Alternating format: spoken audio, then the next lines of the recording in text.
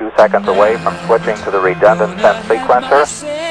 T minus 27 seconds.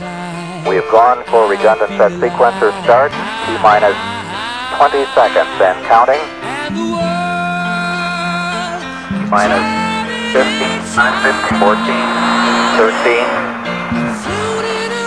T minus 10, 9, 8, 7, 6, 5, 4. We've gone for main engine start. We have main engine start. Zero.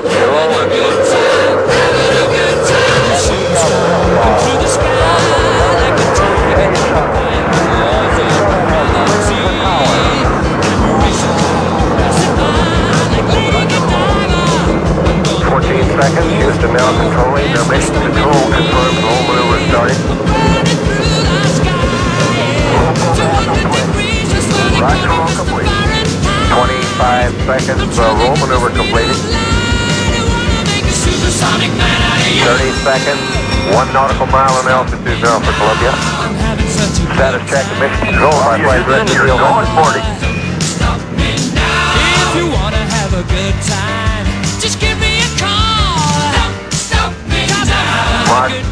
Mark, 48 seconds, uh, throttling engines down for max Q, coming up on three to maximum aerodynamic pressure on the vehicle. 34, Max Roger. Mark, one minute, Columbia now 5 nautical miles altitude. Mark, so 1 minute 5 seconds, pass through max Q, Columbia still looking good, throttling engines back to 100%. Status check with control center. Columbia, Houston, you're going throttle up. Roger, go throttle up. Mark, 1 minute 20 seconds, Columbia now 9 nautical miles altitude, 4 nautical miles downrange. Don't stop me, don't stop me, don't stop me. Hey, hey, hey! Mark, uh, 1 minute 30 seconds. Columbia now 10 nautical miles in altitude, 5 nautical miles downrange velocity. Don't stop me, don't stop me.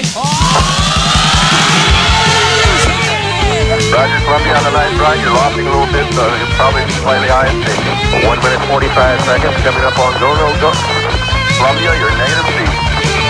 So that call up says uh, that uh, Columbia, the altitude is too high for ejected CQ.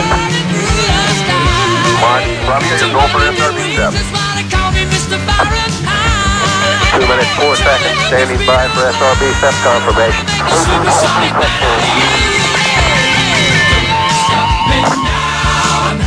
Such a good time. I'm having a ball. Roger on the step, Columbia. Me now. If you wanna have a good Mark, uh, 2 minutes 20 seconds, confirm solid rocket booster step. Me now. A good time.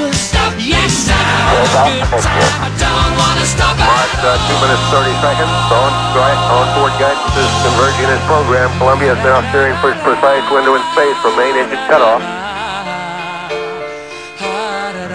Mark, 2 minutes 40 seconds, Columbia now 39 nautical miles in altitude, uh, 42 nautical miles.